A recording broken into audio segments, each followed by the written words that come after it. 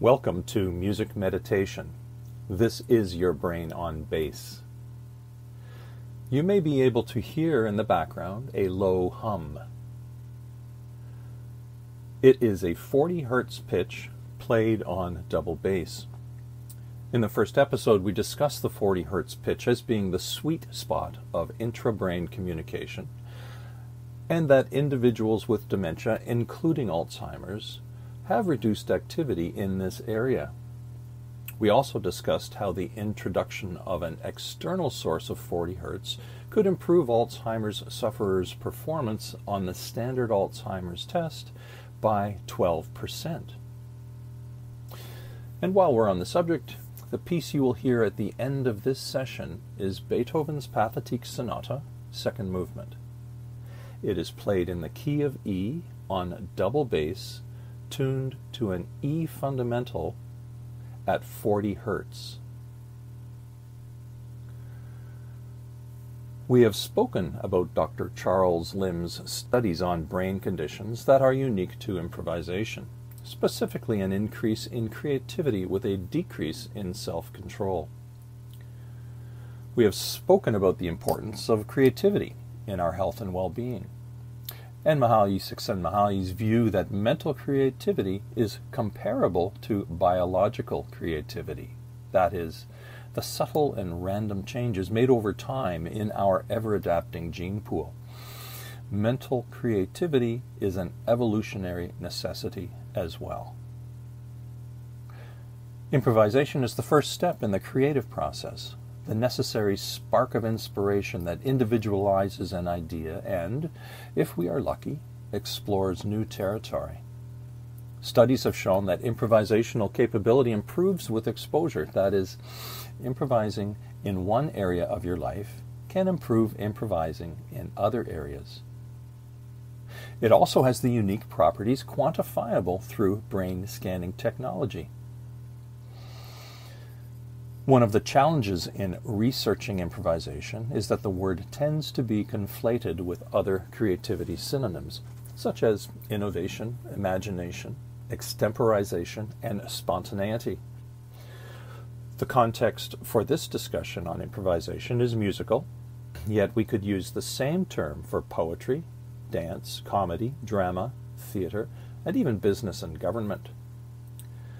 In Gilbert Ryle's paper, titled Improvisation in the journal called Mind, he provides a long list of activities that he considers requiring improvisation, including catching a ball, climbing a ladder, negotiating traffic, and telling a joke.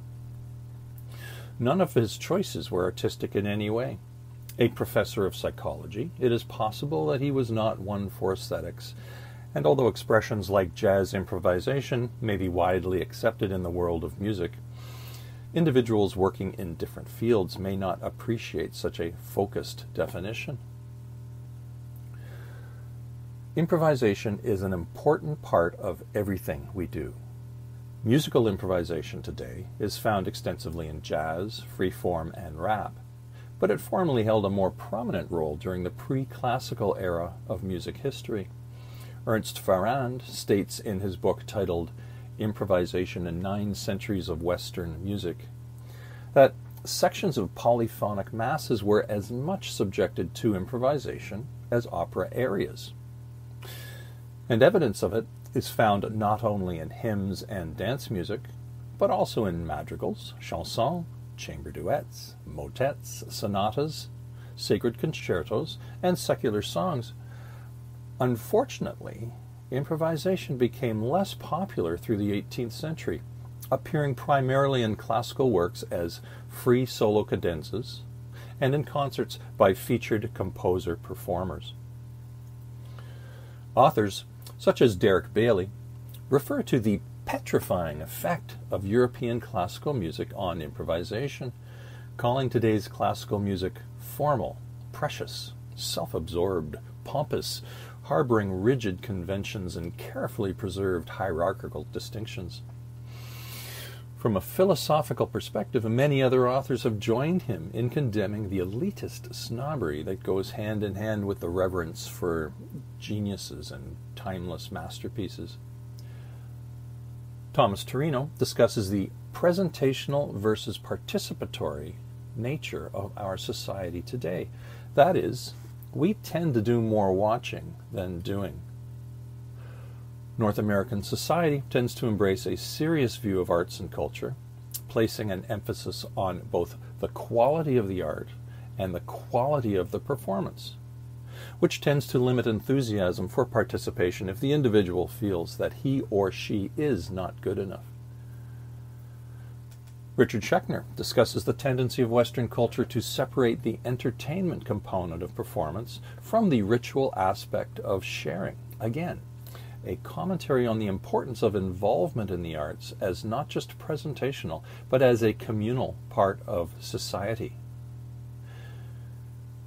It is possible that a return to our historic roots of improvisation and participation would provide a welcome change to the exclusionary state of the arts in Western society today. There is no doubt that Western society has moved away from musical improvisation in the arts, and by extension, improvisation in all areas of life. Likewise, the societal trend away from improvisation and away from the acceptance of the desire to let go has dampened meditation as a sociably acceptable practice.